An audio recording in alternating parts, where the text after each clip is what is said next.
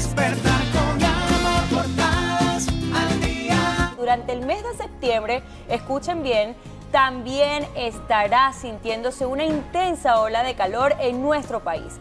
Se habla de que algunas zonas de Venezuela llegará a 37 y superará incluso hasta los 40 grados este año. Eso es mucho, que pasó un Muchísimo. calor todos estos días. Bueno, fíjense que Sí, estas señor. altas temperaturas pueden afectar gravemente la salud y por eso tenemos hoy como invitado al cardiólogo Carlos Mendoza, quien nos dará varios consejos valiosos para afrontar esta ola de calor. Así que bienvenido, Carlos, muchas gracias Gra- por Muchas acompañarnos. gracias, gracias por la invitación. Tema muy importante Mucho. porque no estamos acostumbrados en esta parte del mundo a los impactos de golpe de calor. Y es muy sutil, o sea, es algo que sales a la calle a hacer una diligencia y puede producir un desmayo, una caída o inclusive la muerte.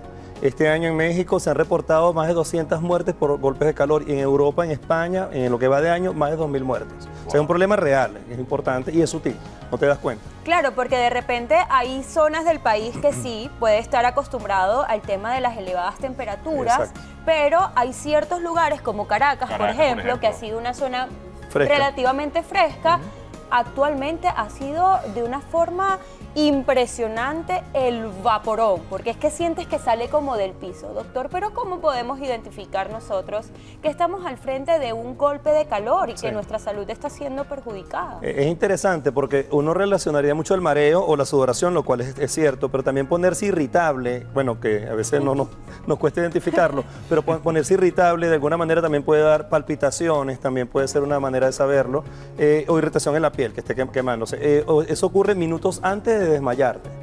Y eh, un problema importante es la vulnerabilidad. O sea, los niños pequeños de 4 años, las mascotas, que también importantísimo, son nuestras grandes compañeras, y las personas mayores de 65 años. Obviamente, si estás enfermo, tienes una condición de enfermedad, tienes más riesgo. Y hay un problema que mucha gente no se toma la presión arterial o no se evalúa médicamente y sale con la presión muy alta a la calle hacer una diligencia y puede, puede ocurrir un problema. Bueno, y eso yo creo que es importante eh, medirse la, este, la- la presión, la- las personas de la tercera edad antes de salir de la calle, sobre todo entendiendo que hay mucho adulto, que, muchas personas de la tercera edad que están solos acá en Venezuela. sí. Eso es muy Entonces, importante. Deben tomar recomendaciones antes de salir de la casa y es lo que nosotros queremos en este momento, poder darles recomendaciones a ustedes de cómo enfrentar estas olas y estos golpes de calor. El prim- lo primero es mantenernos bien hidratados, Eso, eso pero muchas veces nos hidratamos o pensamos que nos estamos hidratando y no lo estamos haciendo de la manera correcta. Exacto. ¿Cuál es la manera correcta, Carlos, de hidratar? Agua natural, o sea, no hay que tenerla ni muy fría ni muy caliente. Agua natural, eh, no, no esperar que tener sed para tomar el agua. O sea, tú debes mantener, eh, llevar tu litro de agua y durante la, la salida, antes de salir en la salida, estar tomando agua permanentemente. Eso es clave. Usar ropa cubierta, no, claro que no sea calurosa. Eh, la gente pensaría que andar con manga corta sería lo ideal. No, te expone más al calor y aumenta la temperatura. Eso y tener en tu cartera eh, tus medicamentos, los nombres de los medicamentos de dos familiares en caso de una emergencia eh, y de tu informe médico en caso de que te puedas caer. Recuerda que no solo hay hipertensión en tercera edad, en obesos, que la obesidad en Venezuela está por encima y el sobrepeso del 80% de la población. Y la alimentación también que es hipercalórica, eh, hay mucha obesidad e hipertensión en jóvenes.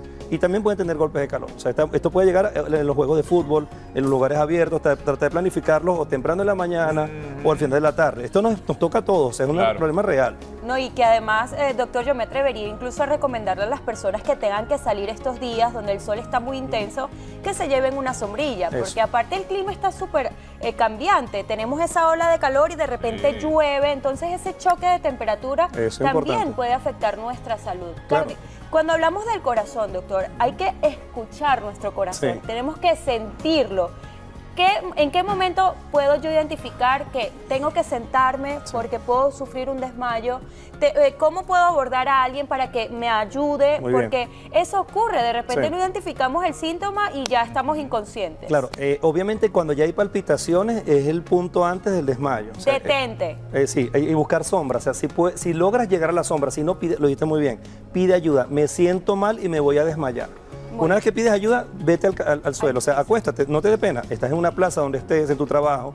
Acuéstate y que te levanten los pies para que la sangre circule un poco hacia el cerebro y ellos se activan el sistema de atención, que básicamente es humedecer la cara con un pañito Si está, la persona está consciente, puedes darle agua. Si está inconsciente, no lo intentes porque se puede asfixiar con el agua. O sea, puede- Atención. importante. ¿Hay algún alimento o bebida que debamos evitar en estas temporadas? El alcohol en exceso, bueno, es un problema, es claro, eh, porque puede producir más vasodilatación y puede producir un desmayo. Las bebidas muy azucaradas también, eh, el té, inclusive los que tengan cafeína, las bebidas con cafeína podrían estimular una arritmia y podrían producir el desmayo. Agua, hay que tomar agua, eso es todo lo que tenemos. que Agua hacer. y lo recomendable es hacerlo en temperatura natural, porque además uno tiene esa idea de que lo que realmente quita la sed es agua que está fría, sobre todo cuando uno tiene un momento de calor y uno le quiere echar Muy hielo bien. al vaso.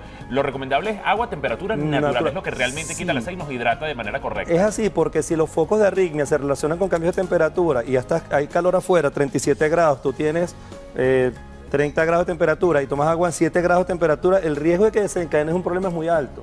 Agua natural, agua natural, mojar a la persona y pon- ponerle a la sombra. Esto es importante y está ocurriendo, o sea, es una situación que creemos que es ficticia, pero pasa y te pasa de un minuto a otro. Tú puedes estar en 31 grados, llegar a 37 grados de temperatura ambiental y no darte cuenta. O sea, es importante, es importante. sí. Gracias, doctor. De verdad, encantados de que esté con nosotros acá en, en Portadas al Día y podamos brindarles esos, esas recomendaciones a las, en salud a todas esas personas. Es. ¿Algún tip que quiera dar antes de irnos al corte? Bueno, eh, tenemos en la unidad de cardiología mía un lema que es te amo y no me cuido no existe. O sea, amo a mi familia, pero no me cuido no, no existe. Claro, o sea, sí. tomen en cuenta esto, si los padres están ahorita solos en Venezuela, y muchas personas lo están, si caen en una calle, si les pasa algo, ¿qué va a pasar con sus hijos? ¿Cómo los van a atender? Es mucho más económico tener un poquito de agua filtrada hervida que tener un accidente. Y si usted no tiene necesidad de salir a la calle, No pues mejor quédese en casa y evitemos accidentes mayores. Ah, Quédese viendo portadas al día hasta el con mediodía. estos calorones mejor quedarse viendo el En programa. No, fíjate que yo ayer subí eh, la montaña y subí, subí a plena hora de la tarde, el sol estaba inclemente y la conversación durante toda la subida del cerro Qué era calor. qué calor está Eh, que haciendo, vale.